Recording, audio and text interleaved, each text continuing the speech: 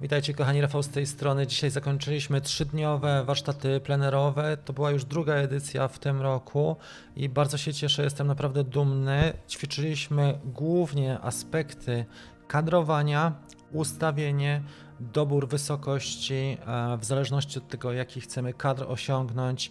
E, oczywiście dobór dronów też, czy to e, drony z gimbalem, czy FPV. Osiągane kadry, dynamika, ruchy dronowe, czyli techniki, tak, zgranie drążków, ustawienia w ogóle, jeżeli chodzi o samego drona, płynności ruchów, ale także prędkości poszczególnych ruchów i wychylenia gimbala.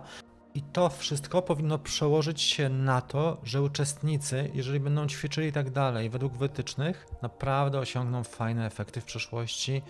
Do tego mieliśmy walory e, krajobrazowe, mega, super miejscówki, fantastyczna pogoda, super światło i to wszystko nam naprawdę się e, kapitalnie złożyło.